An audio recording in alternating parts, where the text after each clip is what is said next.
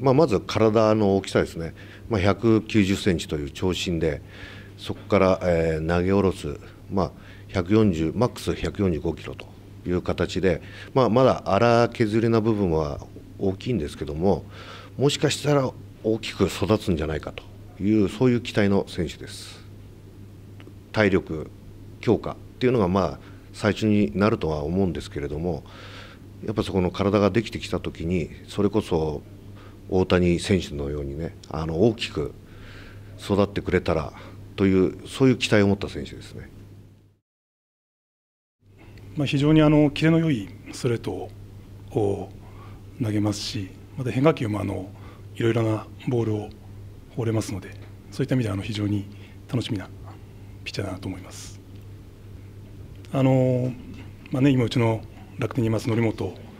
兄あのに負けないぐらいですねあの気持ちの強さというものを持ってますので